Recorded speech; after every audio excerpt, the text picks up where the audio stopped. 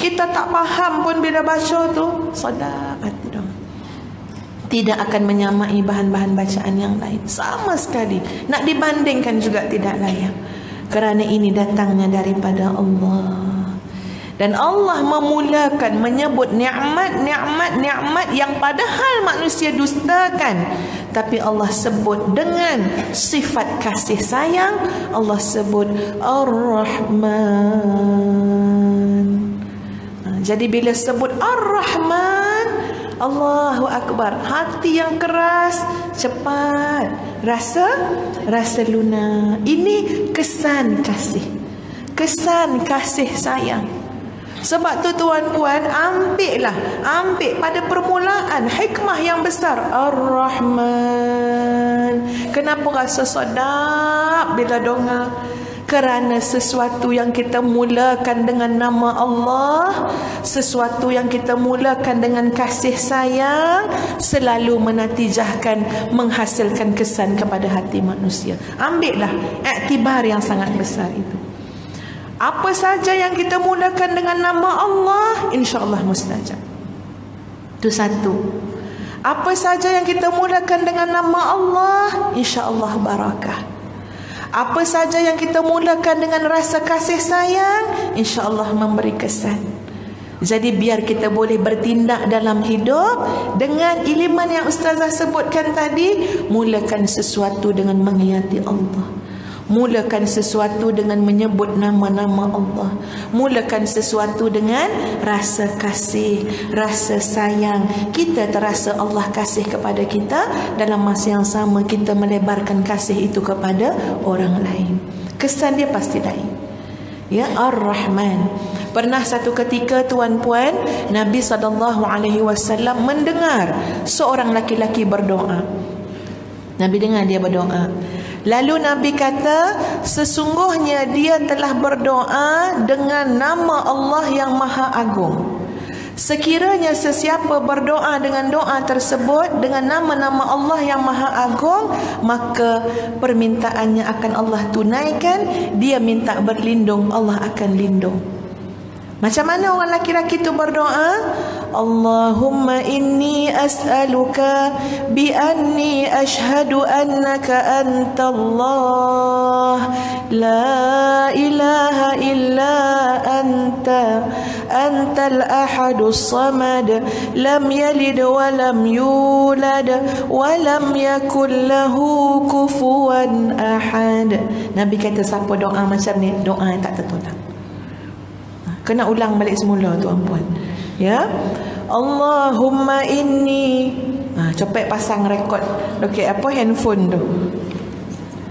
Ni rekod ke selfie ni kak? Tinggi bona lah kan ya. Allahumma inni as'aluka bi anni ashhadu annaka anta Allah la ilaha illa anta lam yalid wa lam yulad wa lam yakul lahu kufuwan ahad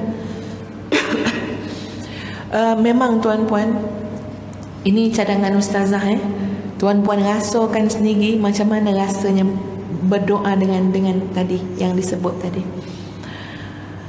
Kadang-kadang hati kita koreh ya, koreh. Jadi bila awal-awal doa tu dia tak lembut lagi. Koreh ya. Allah ampunkan dosaku. Mata mandang katanya lawan lampu sujud ni tu kan. Dia hati dia tak datang dengan apa? Dengan dengan bacaan. Orang kalau minta ampun ya Allah merintih hati tu kan. Jadi kadang-kadang itu tuan puan ustazah pun terasa koreh hati ni. Macam mana nak berdoa sungguh-sungguh ni ya Allah hati tengah keras. Ya macam nak berdoa nak bagi bening hati dan subhanallah tuan puan memulakan doa dengan tadi tu cepat sangat melembutkan hati. Ulang, ulang, ulang dan ulang.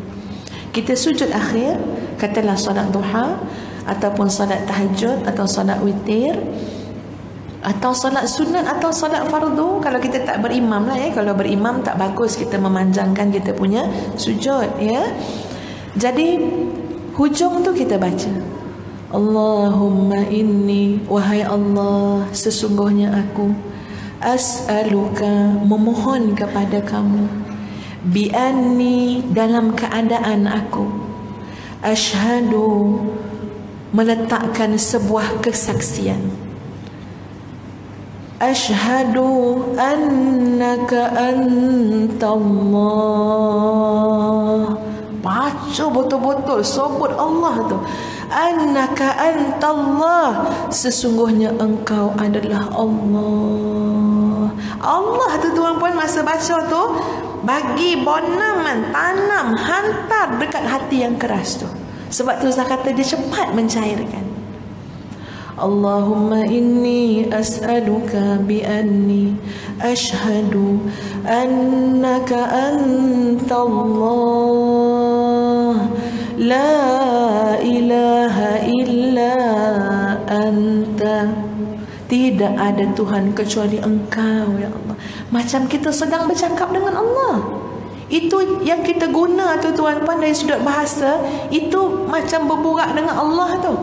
Sebab kita guna Ashhadu annaka kamu ya Allah. Antallah kamu benar-benar Allah La ilaha illa anta. Tidak ada Tuhan kecuali engkau ya Allah. Antal ahadus samad.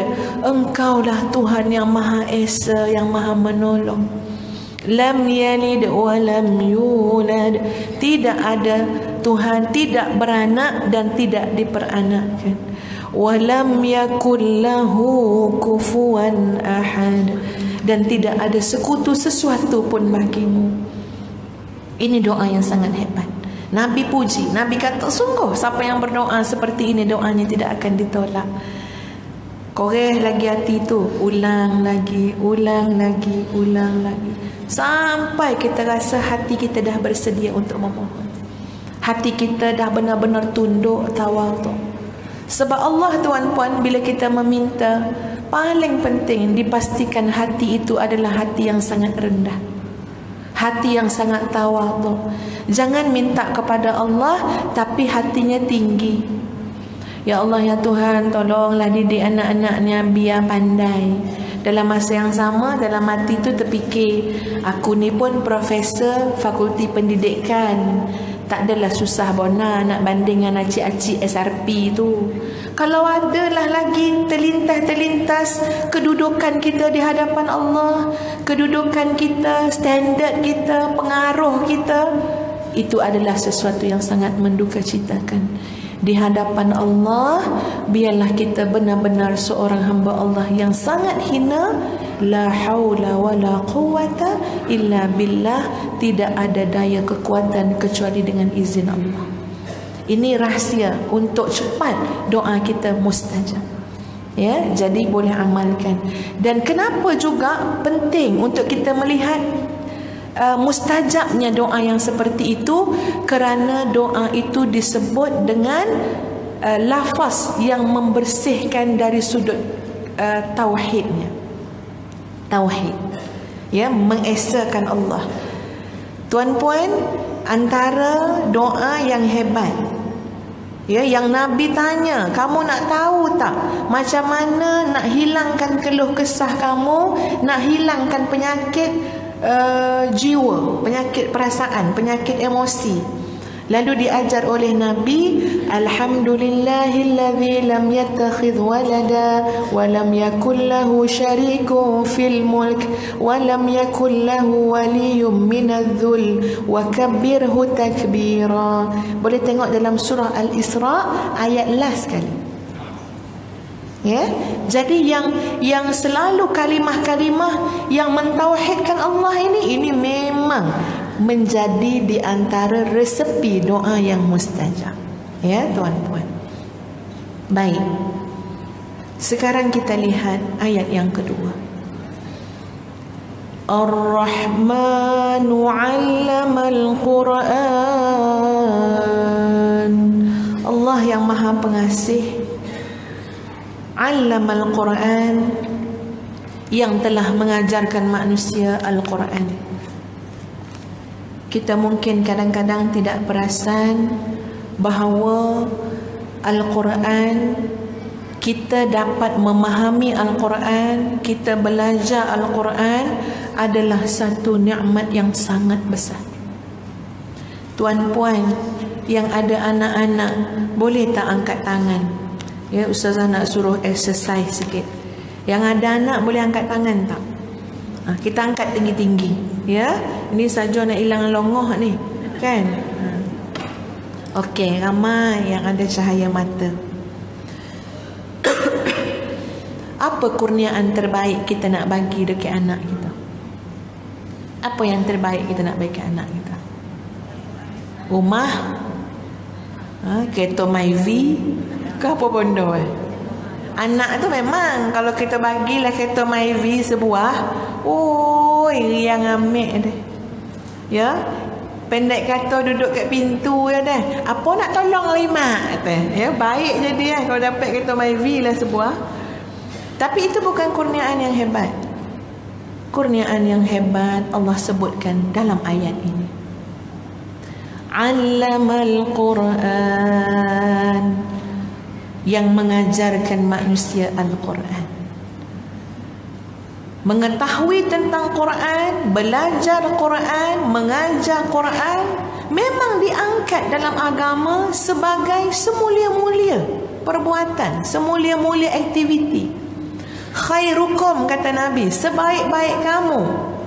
Man ta'allama al-Quran wa 'allamah siapa yang belajar Quran dan mengajarkan Quran sebaik-baik kamu khairukum sebaik-baik kamu. Wallahu a'lam tuan-puan. Tuan-puan masih ingat lagi tak? Yelah macam-macam berita kan ada kat tempat kita ni kan?